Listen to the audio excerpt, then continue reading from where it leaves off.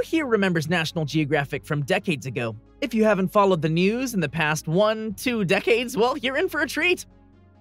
The History of National Geographic Society. On January 13, 1888, a group of scientists and explorers partied at the Cosmos Club in Washington, D.C. Their mission create a club or society for the increase and diffusion of geographical knowledge. The group codified its organization, establishing bylaws, formed a constitution, and elected Gardiner Greene Hubbard as its first president.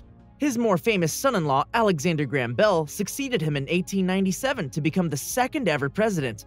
Under his reign, Bell appointed his son-in-law, Gilbert Hovey Grosvenor, as the first full-time editor.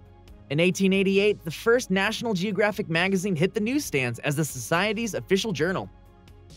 If you enjoyed this YouTube short, click that subscribe button and check out the full video right here on Company Insight.